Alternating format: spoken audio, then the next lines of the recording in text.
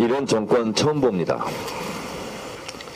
대선 때 경쟁자였던 야당 대표를 누구를 알았느냐 몰랐느냐를 놓고 선거법으로 기소해 직전 경쟁자를 탄압하는 이런 정권 처음 봅니다. 반면 10원짜리 한 장 피해준 적이 없다던 자신의 장모는 통장 잔고 위조 혐의로 법정 구속이 되었어도 이에 대해 사과 한마디조차 없는 이런 정권 처음 봅니다. 학력 경력 의혹, 논문 표절, 도이치모터스 주가 조작 의혹 등 차고 넘치는 범죄 혐의에 대해 대통령 부인은 검찰의 소환조차 없는 이런 정권 처음 봅니다. 직전 대선 경쟁자였던 야당 대표는 걸핏하면 검찰 소환을 합니다. 한 번도 아니고 두 번, 세 번, 네 번, 다섯 번째까지 부르고 언제까지 부를지 그 끝을 모르겠습니다. 대선 때 선거는 패밀리 비즈니스, 가족 사업이라고 했던 사람이 대통령이 되었습니다. 대통령 체화당 고속도로 종점 변경 사건은 대형 패밀리 비즈니스였던가 봅니다. 보통 해먹어도 숨어서 안 들키려 노력하면서 해먹는데 이렇게 노골적으로 대놓고 해먹는 이런 정권 처음 봅니다. 아직도 처가당 쪽 변경안인지 원하는지 아무런 결론이 나지 않고 있습니다.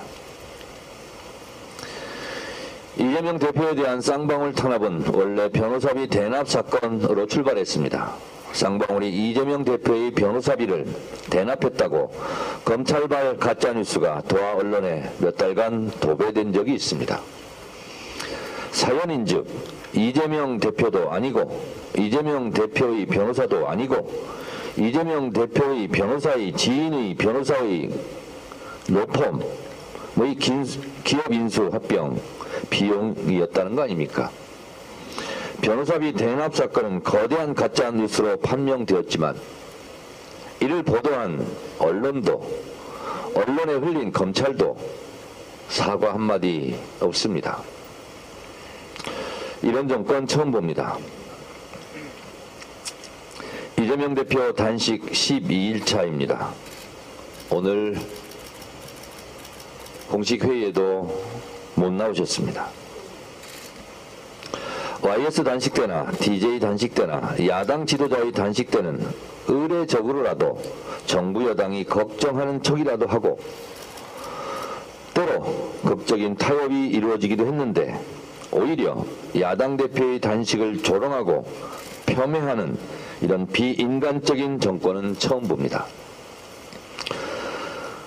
진짜 단식하는 거 맞냐? 제가 국민의힘 의원한테 받은 질문입니다. 심지어 단식의 신뢰성까지 의심하며 조롱, 비난, 공격까지 해댑니다.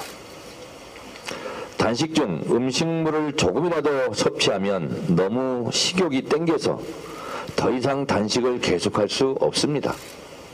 제 경험상 그렇습니다. 단식해본 사람은 다 압니다. 단식도 안 해본 무식한 소리는 이제 그만하기 바랍니다. 사람마다 차이는 있지만 단식 초기에는 지방질을 태우고 일주일이 지나면 단백질을 태우고 이주일이 지나면 장기를 태운다고 합니다.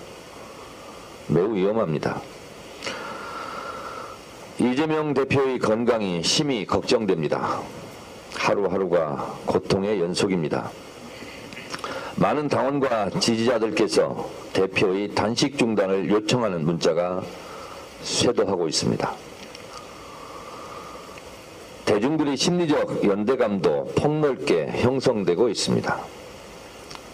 이재명이 아프니 나도 아프다는 해도 해도 너무한다는 윤석열 정권에 대한 분노가 폭넓고 두껍게 조직되고 있습니다.